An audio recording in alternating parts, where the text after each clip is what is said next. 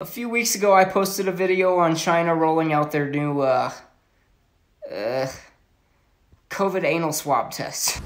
No. No. Mm-mm. Mm-mm. No. No. No. No. No. No. Hell no. No. No.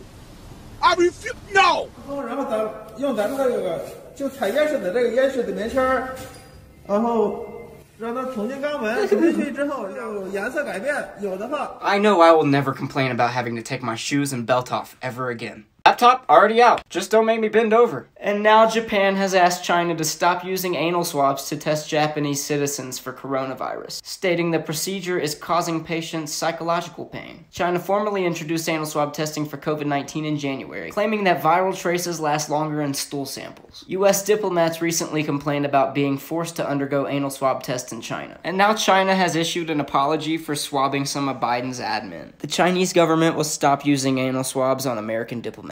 I just don't see how some people out there don't find politics absolutely hilarious. This is better than stand up. And now China has made the test mandatory for foreigners.